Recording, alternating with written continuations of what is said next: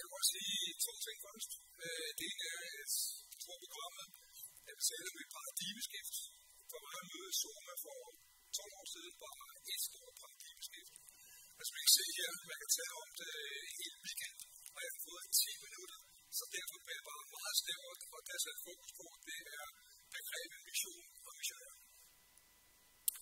Øh, det ene og det andet er, mere for jeg ikke får klæder bagefter og sådan noget, og hvad jeg det jeg vil sige, det er, det er min erfaring, det er min oplevelse. Øh, men jeg tror også, det er det, jeg har som oplevelse. Jeg håber, at vi kan få noget inspiration med fra det. Øh, ja. Så, ja, bare skift. Øh, jeg prøvede her via øh, fire billeder at tegne øh, billeder, hvor mission og missionær har stået for, for mig i det første 50 år. Og så ved jeg godt, når jeg allerede tager nummer af, fordi jeg tænker, 50 år, så gammel er det, er det ikke. Men det er altså. Det første billede her, det er det billede, som jeg tog via Ollers hos min svigermor ude på Amager. Jeg tænker sådan en, jeg ved ikke, hvad hedder,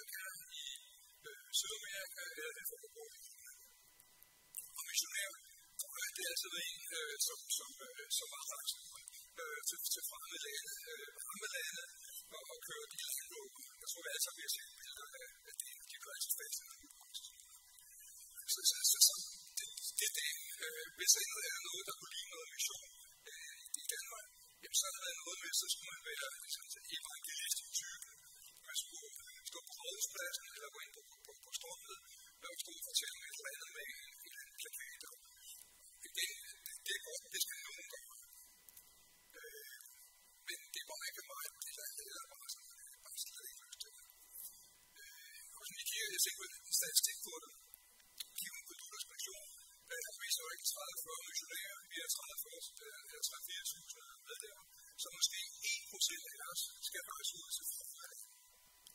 Og jeg hører det i forhold om, hvad nådegaver er. Dem, der er evangelistisk nådegave, det er 7 procent. Det betyder bare, at de 99 procent af os, eller de 5% af os, vi skal ikke gøre det, der står i teksterne her. Vi skal være det, der hedder for det. Og så alligevel er der jo i den tradition, jeg voksede op med, synes, jeg har hørt og lært, var der alligevel lidt tilbage til os. Øh, så vi kan se, at der er et billede, det går op af vores indkøb til venstre. Øh, man sagde ligesom, man kan altid give øh, naboen et ord med over helt. Og det var ligesom det, og hvis der var arbejde så til det, så er de ved, hvor jeg står. Og så, det var også meget godt, de ved det, fordi det var mig. Øh, og det mest fremhæveste, som, som øh, på en mand med vi og jeg øh, sagde og tænkte, det var, at når man skulle ligesom drive mission, øh, så må vi invitere nogen med til Det vil vi ikke tage med sådan et sted som det der. den kigger ikke, den kigger der. Det er op. Øh, det er for at en kirke, bygning, øh, Løvenskirke. Så må vi jo tage det ind, så kan vi høre det. Men lige for det her, det er lidt, det er lidt kedeligt billede, fordi øh, jeg synes, det er for en rigtig god kristen, så burde også være en rejse ud, men i hvert fald på den måde, så kan det give dem til vidtighed hele livet. Og det vil så overlade til at gøre i mange tilfælde, i flere tilfælde, vil det hjælpe ikke. Og det er det, vi står med. Måske en gang skifter. Øh, og så det her med at, man jeg skal sige, invitere nogen med til møde. Hvis jeg kigger på det, ene af, man gør her, i forhold ud. Så man tænker, at vi skal være visionære, vi skal tænke vision. Det så tænker man, okay, hvad skal, hvad, hvad skal vi gøre det? Folk skal høre Guds tænker man, så skal jo et sted hen. Og det skal ikke være navigeret der. Det skal være på det andet tidspunkt. Og det skal så være en søndag, hvor folk er fri, og de har travlt deres have. Og så også være en formiddag, hvor de gerne vil sove hen. Øh, og så sørge for, at de møder måske 100 mennesker, de har stadig nogle set, nogle ser set før, der bliver set, det er ganske ubehageligt. Øh, og så møder de en mand, der er vant, som de ikke kender, og ikke kan nogen type, hvor han prøver til at holde en tidlig og han tager i en forståelse. Så det er det, øh, betingelser, vi giver, hvis du fører den her strategi, som, som har været det, man ligesom sagde. Det er jo ikke sådan, at det har virket, og der er ikke nogen, der kommer til at komme til at med til møde for ord, selvfølgelig. Det er bare ikke det,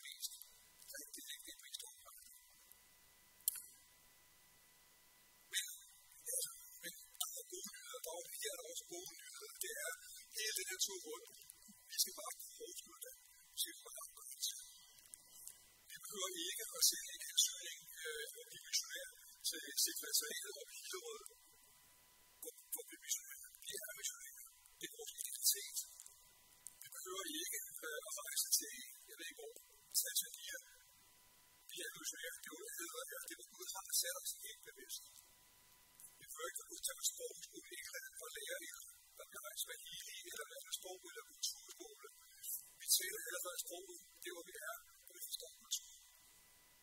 så her, øh, hvis vi er, det er jo allerede er, det er jo vi bor, det hvor vi har vores hobbies, det er jo vi arbejder, øh, vi har fælles referencer referenceprogrammer, vi har fælles kultur, vi forstår sproget, vi har indsigt. Men øh, for mange af dem, der er vi god kemi, vi klikker sammen, øh, og der er bygget tillid, vi har tillid til. Så det er ikke sikkert, at det er fortalt om, de er faktisk til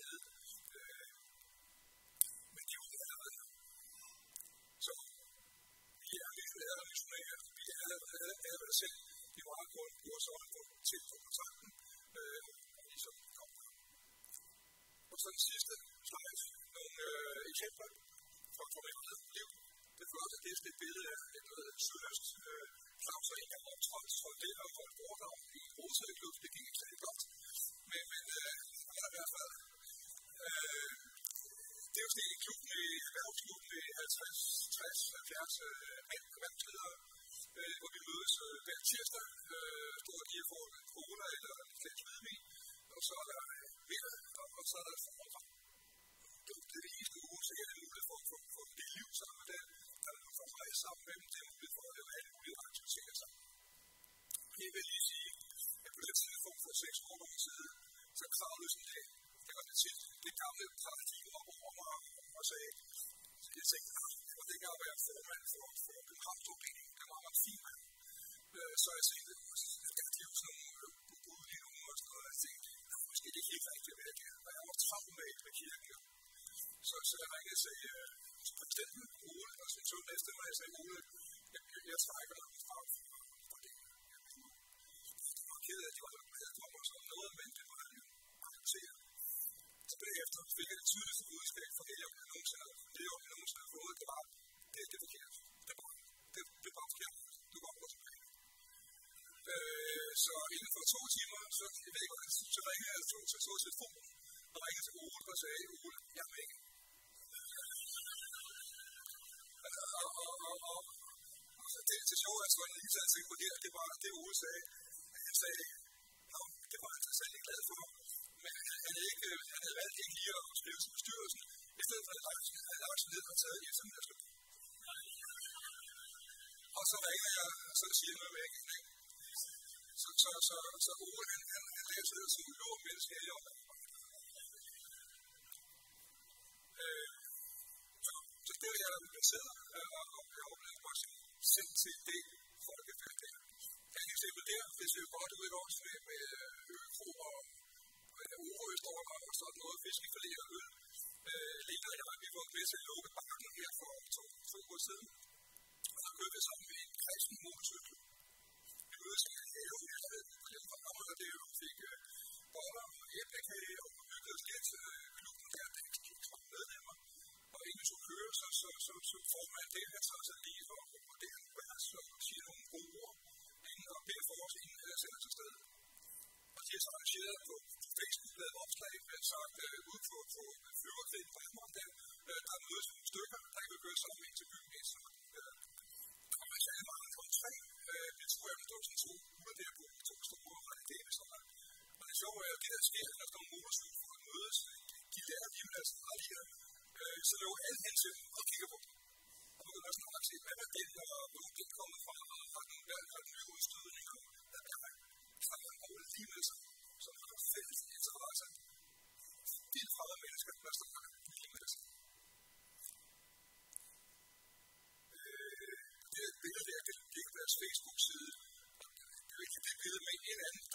sammen med på det ene tidspunkt, hvor der kom 5, de kun 12, men der var 35 med til at køre. Og en af dem slår op på, på øh, Facebook og skrev, nu er jeg ude at køre sammen med de kristne. Og den sidste der, ja, det kan jeg ikke vise, fordi det er sådan mere fremtid. Øh, ja, jeg ved godt, vi har, jeg har, motorcykel, men øh, mit hjerte er ikke et andet sted, vi er, er på omkring. Der er sådan kørte i for 40 år siden, dengang vi kom. Der tænkte jeg ikke, det ville være rigtigt, det kan det godt. Nej, men, men øh, så jeg meldte mig ind på startklubben for et andet år, år siden. Øh, der var ikke nogen start. Så, så, så jeg har klubbladet, men det giver mig ikke adgang til nogen mennesker. Så det, jeg skal gå, det er simpelthen at få, få købt en fling der, og jeg har lidt penge fra, fra efterlønnen, øh, som, som jeg skal investere i den her, som, øh, som vil være selv til den klub er det jo, vi er jo selv til, til alle verdens folkeslag, men altså motorcykel, folket, amerikanerbil, folket, det er også folkeslag. Nogen skal være selv Så derfor øh, vil det store budskab, det er at for alle vores almindelige mennesker, øh, der vil vi simpelthen blive per, per, per definition af vi missionære, og vi har sendt. Og et bedste råd, det er simpelthen, øh, at sæt det du er væsentligt i. Gør det sammen med ikke troende, og gør det med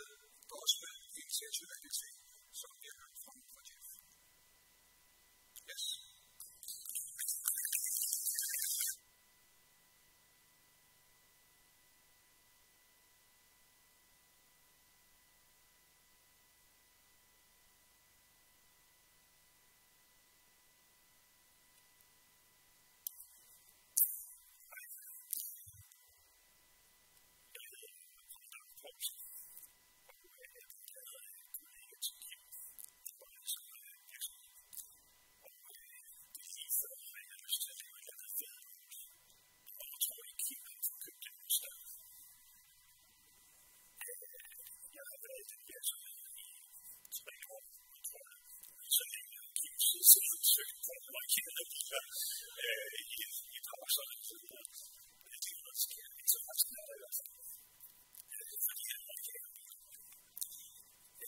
Det är viktiga för synen om det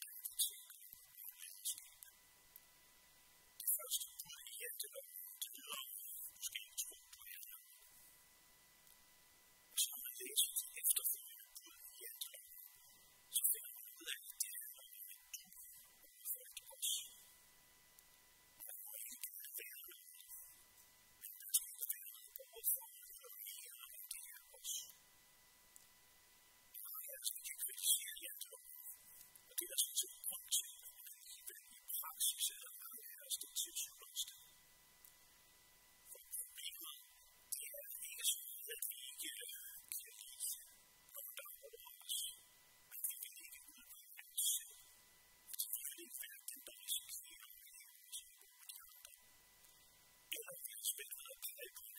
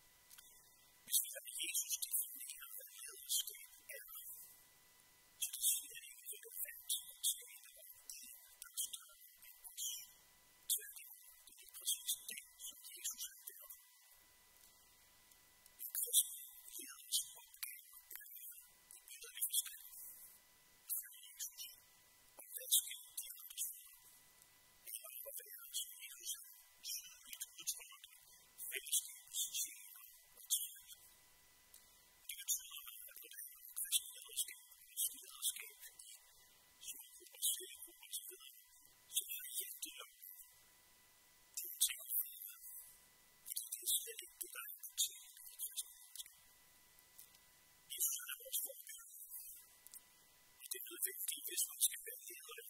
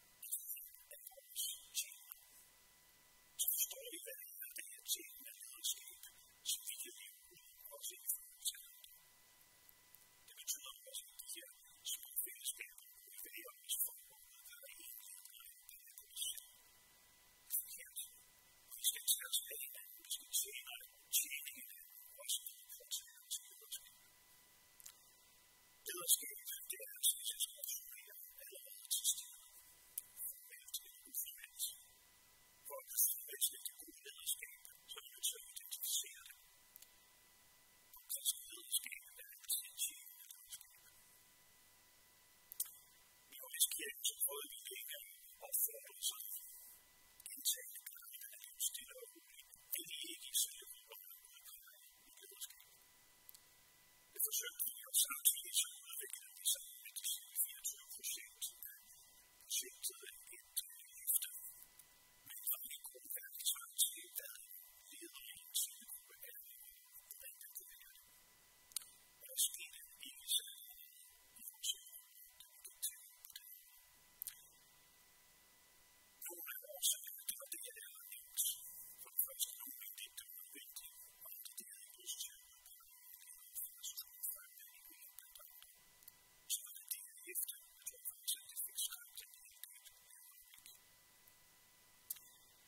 Vores nyeste forsøg sættes er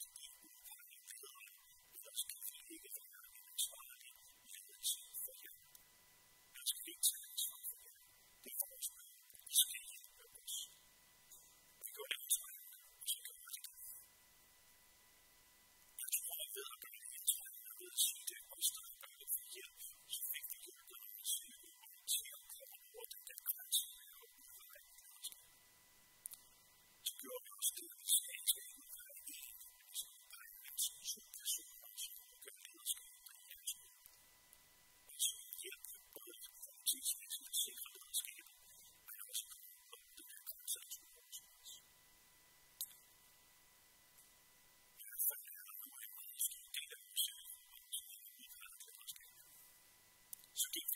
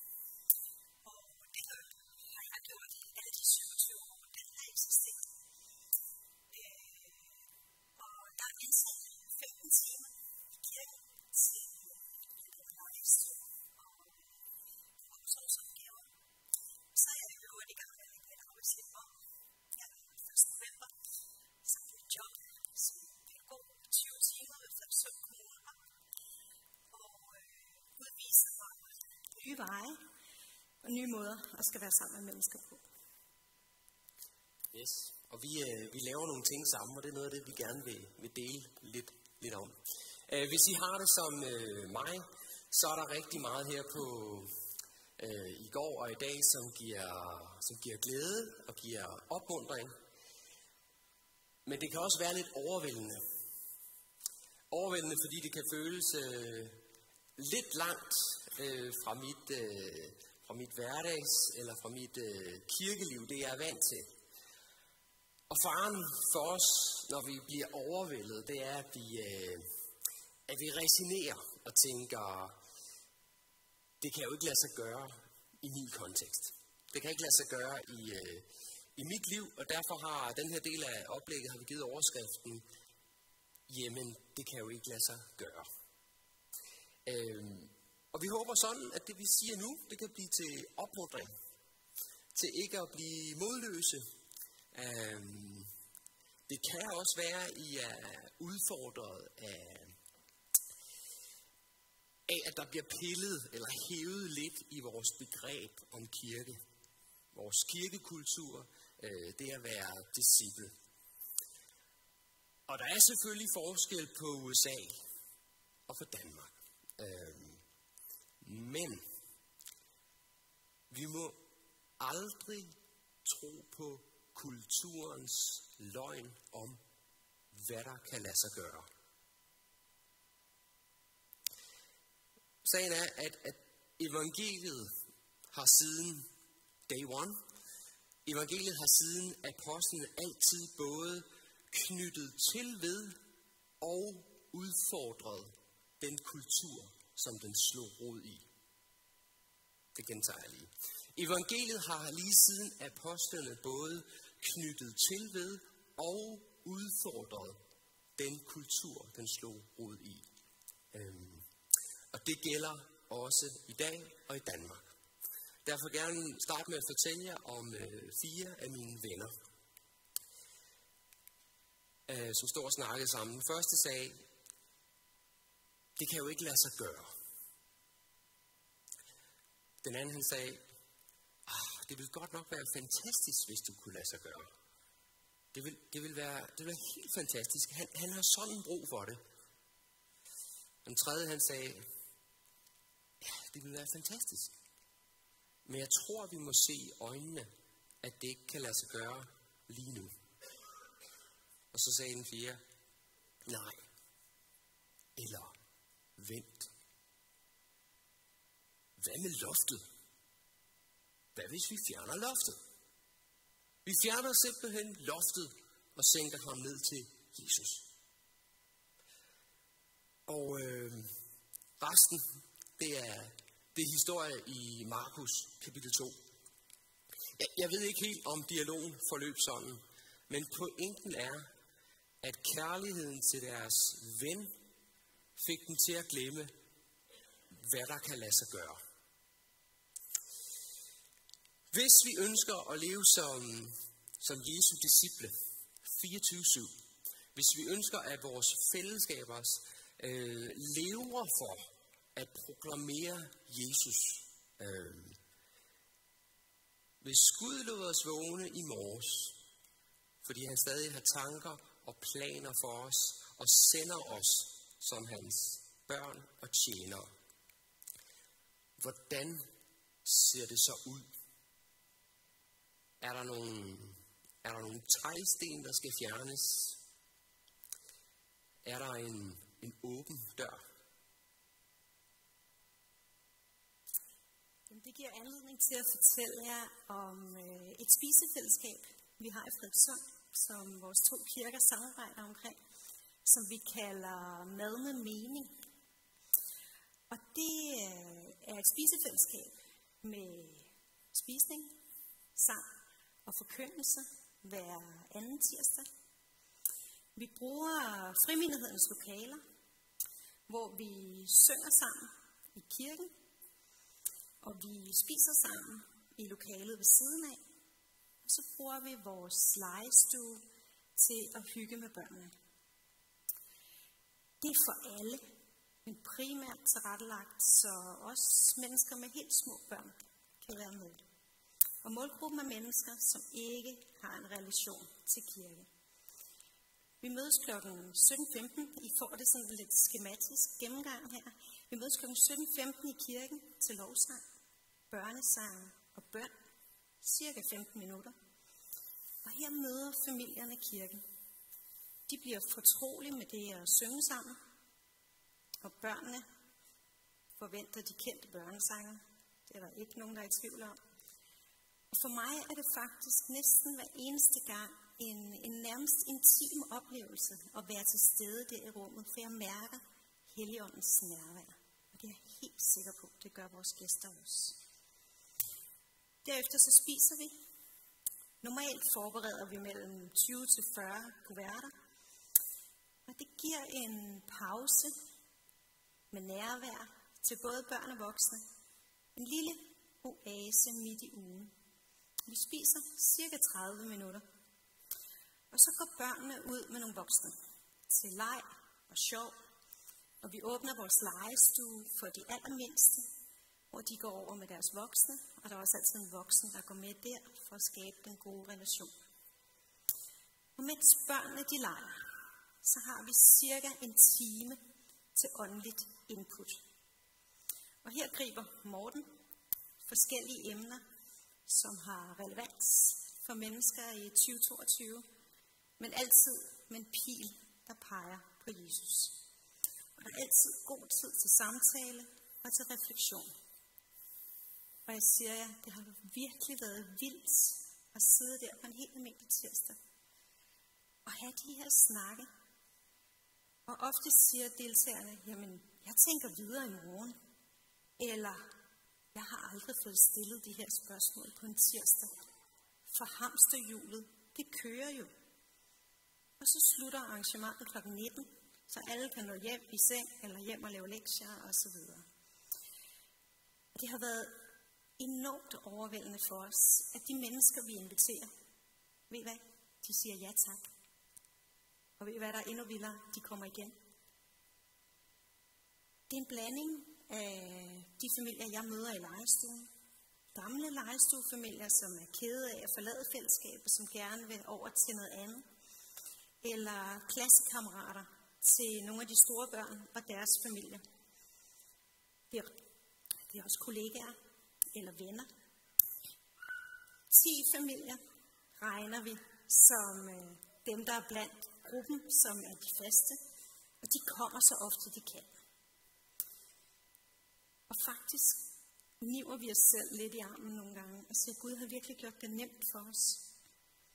Fordi han har givet os relationer på kryds og tværs. Og derfor har jeg lyst til at fortælle jer om et par af kvinderne, der kommer. En kvinde, hun stopper i lejestuen, hendes søn er tre år. Og hun starter til mad med mening, fordi hun er ked af at forlade øh, fællesskabet, der er i legestuen. Og øh, i forbindelse med, at hun skal tilbage på arbejdsmarkedet, så starter hun sit eget rengøringsfirma. Og tænk, der er nogle af de kristne familier, som havde brug for en rengøringshjælp. Og det har bare givet rigtig mange gode snakke. Og nu siger hun, vi går til mad med mening. Vi går ikke til badminton, men vi går til mad med mening. Og hun er simpelthen vores største øh, jeg ved ikke, hvad sådan noget, som øh, evangelist. Fordi hun tager også naboen med, og hun tager sin mor med, og hun tager manden med, og sine store børn. Og faktisk har hun også været et redskab i Guds hånd, men uden at hun ved det. For en dag fortæller hun, ved hvad, jeg har den her veninde, som har det svært, og jeg har inviteret hende med, men hun har ikke haft overskud til det endnu. Og ind i samtalen går det op for mig, hvem hun taler om. Og det er en relation, jeg har haft 15 år tilbage, og jeg har godt læst i avisen, at den her kvinde har mistet sin mand for nylig. Men jeg havde ingen kontaktoplysninger på hende. Så jeg havde bedt Gud om, Gud vil du ikke gøre det, så jeg kan møde hende, så vi kan catch up, for hun har virkelig brug for nogle relationer. Og se, så var der en kvinde der, som lige kunne give mig det, jeg havde brug for. Og nu mødes jeg med hende en gang om måneden, hvor vi læser Bibel sammen, og jeg får lejlighed til at bede for hende. Altså, så Guds veje er bare finurlige. Og en anden lejestuefamilie, jamen, da de kommer med til mad med mening, så går det op for os, jamen, de har en datter, der går i klasse med en af Mortens børn, har tænkt, de er også nabo med en af de andre kristne familier. Og det gør, at, at de kommer igen, de har relationerne. Faktisk er det tit nu manden, der kommer ofte med, med børnene, fordi, fordi der er nogle fritidsaktiviteter, der gør, at, øh, at, at så er det ham, der har mulighed. Og tit kommer hele familien. Det er, det er, virkelig, det er virkelig fint. Og vi er, tror, vi betragter det som, at vi er på rejse med de her kvinder, eller de familier, jeg fortæller om. Og ja, og alle de andre. Og Gud rører ved dem. Vi stiller os til rådighed og hans redskab i forventning om, at øh, troen kommer, at det som høres. Og til sidst har jeg lyst til at sige, at øh, det er ikke kun arbejde. Fordi øh, for mig har mad med mening bragt en velsignelse i mit liv, som har været overvældende. Og jeg tror, mange af de andre i samme gruppe har det på samme måde. Morten skal om lidt sige noget om baggrunden for mad med mening. Men for mig har det været enormt stort, at Gud rækker en dobbelt velsignelse. At når jeg rækker velsignelse til nogen, så får jeg mere retur, end jeg rent faktisk har givet. Og uden at vi anede det, så har han samlet os i en arbejdsgruppe, som med vores nådegaver som han passer som seriøst en handske og en hånd. Altså, det havde vi ikke selv regnet ud. Det havde Gud styr på. Og han gør det til en fest hver eneste gang. Fuld af nærvær, venskab, glæde. Jeg er faktisk aldrig træt, når jeg kommer hjem, og jeg føler mig aldrig slidt. Men derimod glad og opbygget. Og en af familierne sagde for nylig, vi kommer, fordi vi kan mærke, I gør jer umage. Ved I hvad? Hvis der skal mere til, end at vi gør os umage, så siger jeg bare tak og amen. Ja, øh, vi er i spændt forventning. Jeg vil gerne fortælle lidt om, øh, om baggrunden for mad med mening. Øh, og, og være ærlig. I vores fællesskab, der står vi på et tidspunkt op øh, og erkendte, at vi havde mistet vores fokus sådan udad til og var blevet ret indadvendte. Så vi tog en øh, periode, hvor vi øh, bad Gud om at vise os, hvad han øh, ville lægge til rette. Og hvis man beder og har øjnene åbne, så, øh, så ser man mange behov. Vi så mange muligheder for at tjene og være vidne, øh, og det kan være helt overvældende. Men samtidig så måtte vi bare konstatere, at vi var en skrøbelig flok. Vi var ikke engang en, øh, en håndfuld familier. Øhm, kronisk sygdom, børn, diagnoser. Vi måtte bare sande, at, øh, at vi ikke i den her fase kunne opbygge noget nyt. Øh, vi kunne ikke komme flere ting i kalenderen. Derfor spurgte vi hinanden, øh, hvad kan vi? Hvad gør vi allerede? Og, øh, og vi spiste sammen om tirsdagen, så vi, øh, vi sagde til hinanden, hvad om vi finder et større sted? Inviterer vores venner, relationer, spiser sammen, synger, og så taler vi med dem om det bedste, vi ved. Og det var baggrunden. Øh, Der er intet i livet med Gud, som vi kan eller skal gøre for at få hans anerkendelse. Vi er hans børn i troen på Jesus. Vi skal ikke stå på hovedet eller hoppe ned gennem taget. Øh, vi, vi må gerne. Det, det er bare vigtigt for os at være ærlige omkring det her med mad med mening, at det, som har været en stor øh, glæde, øh, en stor opmundring, og som har, har samlet os, det er født direkte ud af svaghed og skrøbelighed. Øh, vidderligt. Vi, øh, vi stillede bare et spørgsmål, og så forsøgte vi at stille os til rådighed med den smule, vi havde. Og det er også derfor, jeg tror, det er vigtigt, at vi, øh, vi sidder sammen i dag og også stiller det her spørgsmål. Hvad kan vi gå hjem og gøre? Og stille det i ærlighed over for, for det, vi har, og det, vi har fået givet, og, og under bøn. Tak for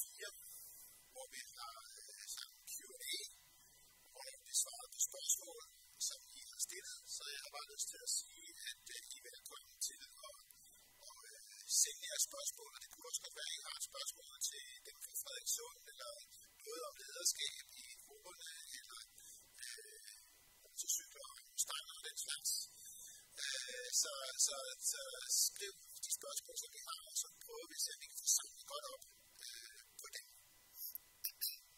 Og så er det selvfølgelig, som jeg har nævnt før, så har I jeres lille sæde.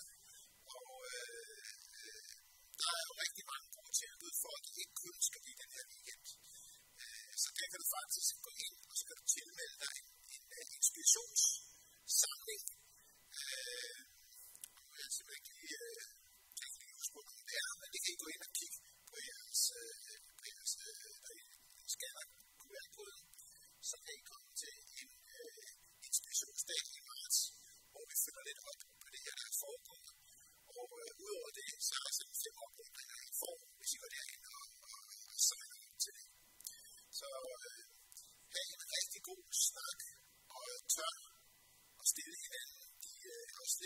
svære spørgsmål. Og hvem ved, om ikke I også tør sige, hvad skal være mit første lille skridt, når jeg går frem. Og så kan vi allerede begynde at tænke og træne lidt nu, fordi der er måske nogen, der er her, som ikke